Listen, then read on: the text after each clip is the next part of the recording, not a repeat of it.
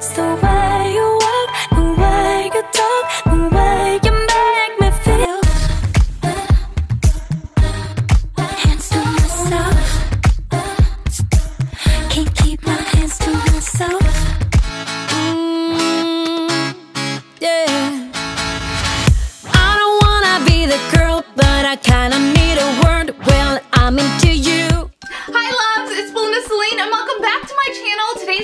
going to be a room DIY which I'm super super excited about it. This video is going to be a collaboration with one of my absolutely most amazing adored friends, Ashley Makeup by Marie. Absolutely love her. She has the most amazing videos, great quality, great content all around. Absolutely love her so you have to check out her channel. We are going to be doing a Valentine's Day themed video and when I think of Valentine's Day I think of like sweets and cupcakes and sprinkles and just cutesy stuff like that and donuts. I don't know, I'm just obsessed with pastries.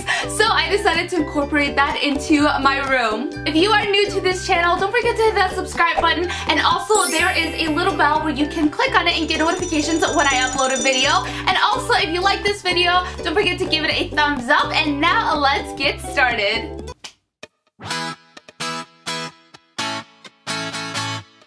For these easy DIY pillows, all you're to need is just colorful fabric, scissors, and a glue gun. No stitching or sewing required.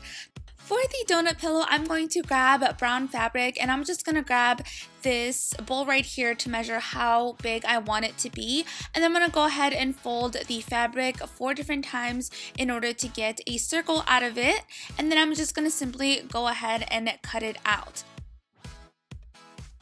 And while it's folded, I'm to go ahead and cut out the center of the donut as well. And then I'm to use that as a template to cut out the other side of the pillow.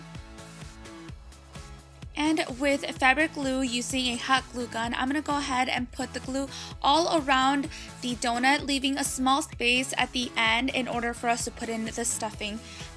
And once you turn the pillow inside out, you want to go ahead and add glue to the center of the hole in order for it not to come out when you're adding in the stuffing.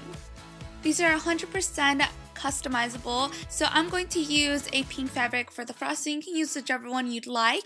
And then I'm just simply going to doodle on how I want the frosting to be on there and just kind of zigzag around it when I cut it for it to look a little bit messy and uneven because after all it is frosting on a donut.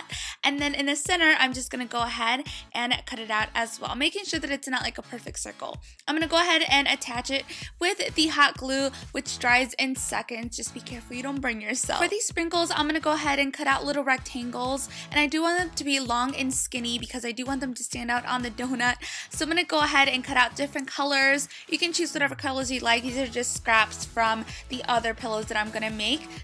And now that all of our glue is dried, I'm to go ahead and start adding in the stuffing. And you can find stuffing at any craft store. It's super inexpensive, which makes this whole project super cheap.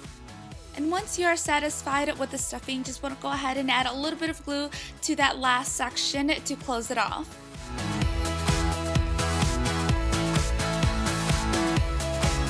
And now that we are done with our donut, let's make a macaron pillow, which I am super excited about this one.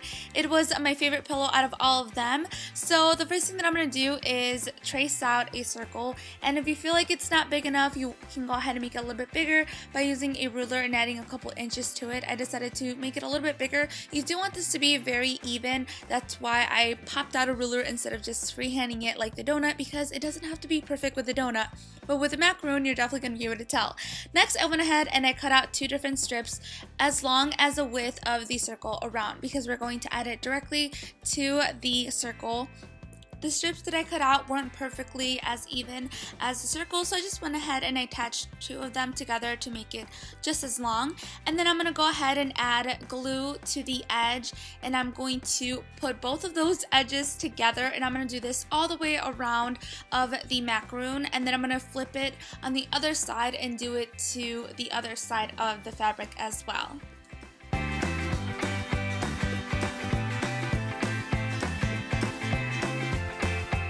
You want to continue to do this all the way around, but you do want to leave a small little opening in order for you to turn it inside out and add the stuffing as well. So once you are done, you want to make sure that the glue is dry and then we're going to turn it inside out and we're going to begin adding the stuffing on there. Once you're done, you want to go ahead and seal off that little opening with the hot glue gun. Now I'm going to show you how to make the frosting that kind of pops out in between. Is it the frosting? I'm not sure what it's called. But I'm just going to go ahead and grab this white piece of fabric and I'm going to make it as thick as possible. So the first thing that I'm going to do is fold it in in order for none of the stitching to show. And then I'm going to go ahead and fold it over again and glue it down together. That way it's very thick and you didn't have to put layers on top of the other and it doesn't look bulky or uneven. And then you just simply attach it to the side.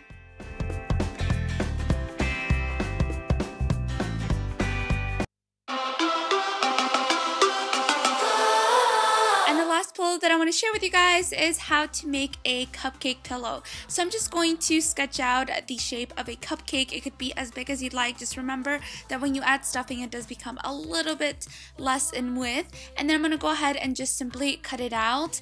And just like the rest, use a fabric hot glue gun and leave a little bit of space on the edge in order for me to turn it inside out prior to stuffing it.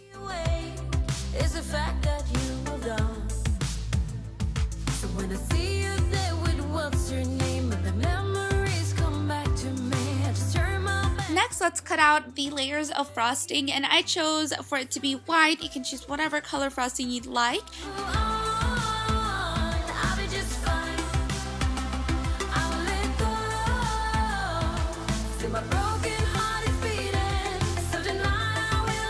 And glue each piece one at a time. You don't want to forget about the bottom where it was open in order for you to put in the stuffing. So also make sure to seal that off. And then once you're done, we're going to cut out little rectangles like I did before with the donut sprinkles and then just simply glue them on. It is super easy to do. The glue dries instantly and it doesn't come off. I've been really rough with these, just tossing them back and forth because I love them so much and I noticed that the glue stayed on the whole time. Thank you so much for stopping by my channel and watching this video. I hope you guys enjoyed it. Don't forget to follow me on Instagram to see more of what's coming along. And I'll talk to you guys in my next video. Muchos besos. Mwah. Uno, dos, tres. Ready?